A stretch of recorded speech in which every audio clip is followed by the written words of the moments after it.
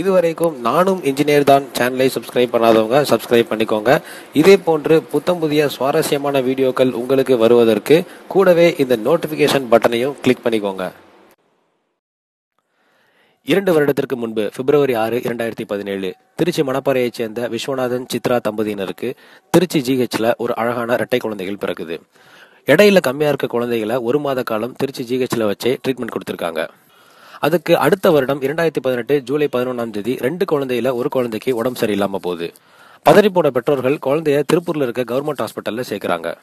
குழந்தையோட இருதயத்தை பரிசோதனை செஞ்சு பார்த்த டாக்டர்ஸ் குழந்தைய உடனடியாக கோயம்புத்தூர்ல இருக்க சிஎம்சிஹெச் என்று சொல்லக்கூடிய கவர்மெண்ட் ஹாஸ்பிட்டல்ல சேர்க்க சொல்றாங்க. அதே நாள் குழந்தை சிஎம்சிஹெச் என்று சொல்லக்கூடிய கோயம்புத்தூர்ல இருக்க கவர்மெண்ட் ஹாஸ்பிட்டல்ல சேர்க்கப்படுது. குழந்தையோட கண்டிஷன் ரொம்ப வீக்கா இருக்குன்னு தெரிஞ்ச டாக்டர்ஸ் அட்மிட் ஆன அடுத்த நாள் அதாவது ஜூலை பன்னிரெண்டு இரண்டாயிரத்தி பதினெட்டாம் தேதி குழந்தை உடம்புல பிளட் ஏத்துறாங்க. இப்படி குழந்தையோட உடம்புல பிளட் ஏறிட்டு இருக்கும்போது குழந்தையோட அப்பா விஸ்வநாதன் பக்கத்திலே இருந்து குழந்தைய பார்த்துட்டு இருந்திருக்காரு. கொஞ்ச நேரம் கழிச்சு சடனா ஒரு டாக்டர் அங்க வராரு. வந்து குழந்தை கையில ஏறிட்டு இருந்த சிரிஞ்ச் டியூப் எல்லாத்தையும் ரிமூவ் பண்ணி டஸ்ட்பின்ல போட்டுறாரு டாக்டரோட வித்தியாசமான நடவடிக்கையை பார்த்து அதிர்ச்சி அடைஞ்ச குழந்தையோட அப்பா விஸ்வநாதன் என்னாச்சுன்னு கேக்குறாரு. அதற்கு அந்த டாக்டர் சாரி நாங்க தெரியாதனமா குழந்தைக்கு ஒரு பெரிய ஆளுடைய ரத்தத்தை ஏத்திட்டோம். பட் நீங்க எதுக்கும் பயப்பட தேவையில்லை. குழந்தையோட உடல்நிலை ரொம்ப சீரா இருக்குன்னு குழந்தையோட அப்பா விஸ்வநாதனை டாக்டர் கன்வின்ஸ் பண்ணிட்டு போயிடுறாரு. இந்நிலையில் இப்படிப்பட்ட சம்பவம் நடந்த மறுநாளே அதாவது ஜூலை பதிமூணு இரண்டாயிரத்தி பதினெட்டு கோயம்புத்தூர் ஜிஹெச்ல அட்மிட் ஆகி தவறுதலா ரத்தம் ஏற்றப்பட்ட அந்த குழந்தையை கோயம்புத்தூர் ஜிஹெச்ல இருந்து உடனடியாக டிஸ்சார்ஜ் பண்ணி வீட்டுக்கு அனுப்பிச்சிடுறாங்க என்ன நடக்குதுன்னே தெரியாம குழம்பி போன குழந்தையோட பெற்றோர்கள் அவசர அவசரமா டிஸ்சார்ஜ் பண்ணப்பட்ட குழந்தைய வீட்டுக்கும் கூட்டிட்டு போயிடுறாங்க.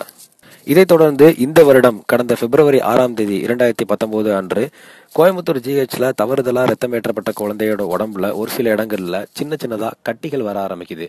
இதை பார்த்து அதிர்ச்சி அடைந்த குழந்தையோட பெற்றோர்கள் குழந்தைய மறுபடியும் கோயம்புத்தூர்ல இருக்க ஜிஹெச்ல அட்மிட் பண்றாங்க. அட்மிட் ஆன இரண்டாவது நாள் பிப்ரவரி எட்டு இரண்டாயிரத்தி பத்தொம்போது குழந்தையோட ரத்தத்தை பரிசோதனை செஞ்சு பார்த்த டாக்டர்ஸ் அந்த இரண்டு வயது பச்சிலம் குழந்தையோட ரத்தத்தில் ஹச்ஐவி என்று சொல்லக்கூடிய கொடிய வைரஸ் இருக்கிறத அவங்களோட பெற்றோர்கிட்ட சொல்கிறாங்க அப்படி சொன்னது மட்டும் இல்லாமல் குழந்தையுடைய பெற்றோருடைய ரத்தத்தையும் பாதிக்கப்பட்ட குழந்தையோட கூட பிறந்த குழந்தையுடைய ரத்தத்தையும் பரிசோதனை செஞ்சு பார்க்குறாங்க. இந்த பரிசோதனையுடைய முடிவில் இவங்க மூணு பேருடைய ரத்தத்திலையும் ஹெச்ஐவி வைரஸ் இல்லைன்றது நிரூபணமாகுது. இதை கேட்டு பதறி போன பெற்றோர்களை அங்கே இருக்கக்கூடிய டாக்டர்ஸ் கண்டதையும் சொல்லி கன்வின்ஸ் பண்ண ட்ரை பண்ணுறாங்க டாக்டர் சொல்றத எதையுமே கேட்காத குழந்தையோட அப்பா விஸ்வநாதன் தன் குழந்தைக்கு நடந்த அநீதிய மக்கள் கண்காணிப்பகம் என்று சொல்லக்கூடிய சமூக அமைப்பு கிட்ட சொல்லி தங்கள் குழந்தைய எப்படியாவது காப்பாத்துங்கன்னு கண்ணீர் விடுறாங்க. அது மட்டும் இல்லாம கோயம்புத்தூர் ஜிஹெச்ல குழந்தைக்கு ரத்தம் ஏறிட்டு இருந்த போது டாக்டர் சடனா உள்ள வந்து பிளட் ஏறிட்டு இருந்த டியூபை கழட்டி டஸ்ட்பின்ல போட்டதையும் தான் போய் கேட்கும்போது சாரி குழந்தையோட உடம்புல தவறுதலாக ஒரு பெரியவங்களோட ரத்தத்தை ஏற்றிட்டோன்னு டாக்டர் தாங்கிட்ட சாரி கேட்டதையும் குழந்தையோட அப்பா விஸ்வநாதன் மக்கள் கண்காணிப்பகத்தில் ஆர்கனைசராக இருக்கக்கூடிய மிஸ்டர் ஆசீர்வாதம் அவர்கள்கிட்ட விலாவரியாக சொல்கிறாரு இதைத் தொடர்ந்து மக்கள் கண்காணிப்பகம் கோயம்புத்தூர் ஜிஹெச் டாக்டர்ஸ் கிட்ட விசாரணை செஞ்ச போது கண்டிப்பாக நாங்கள் ரத்தம் கொடுக்கும்போது குழந்தையோட ரத்தத்தில் ஹெச்ஐவி வைரஸ் வந்திருக்கிறதுக்கு வாய்ப்பே இல்லைன்னு கோயம்புத்தூர் ஜிஹெச்ல இருந்து டிஸ்சார்ஜ் பண்ணப்பட்ட குழந்தை வேறு நிறைய ஹாஸ்பிட்டல்ஸ்ல ட்ரீட்மெண்ட் எடுத்திருப்பதாகவும் அதுல ஏதோ ஒரு ஹாஸ்பிட்டல்ல இருந்து தான் குழந்தையுடைய ரத்தத்தில் ஹெச்ஐவி வைரஸ் வந்திருப்பதாகவும் கோயம்புத்தூர் ஜிஹெச் டாக்டர்கள் மிகவும் ஆணித்தரமாக சொல்றாங்க.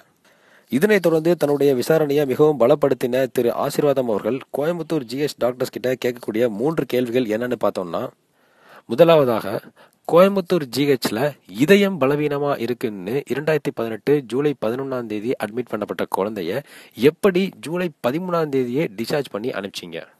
இரண்டாவதாக குழந்தை பிறக்கும் போதே குழந்தையோட ரத்தத்துல ஹெச்ஐவி வைரஸ் இருந்திருந்ததுன்னா பிறந்த ரெட்ட குழந்தையில இன்னொரு குழந்தையுடைய ரத்தத்துல ஹெச்ஐவி வைரஸ் இல்லாம போனது எப்படி?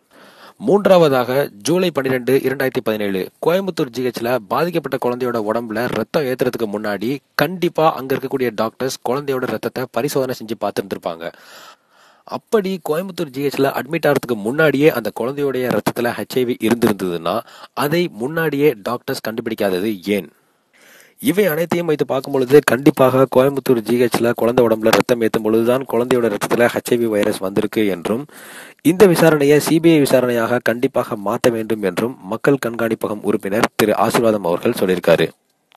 இதேபோல் கடந்த இரண்டாயிரத்தி பதினெட்டு டிசம்பர் மாதம் விருதுநகர் மாவட்டம் அரசு மருத்துவமனையில் அனுமதிக்கப்பட்ட இருபத்தி நான்கு வயது கர்ப்பிணி பெண்ணின் உடலில் தவறுதலாக ஏற்றப்பட்ட இரத்தத்தில் ஹெச்ஐவி வைரஸ் இருந்தது குறிப்பிடத்தக்கது.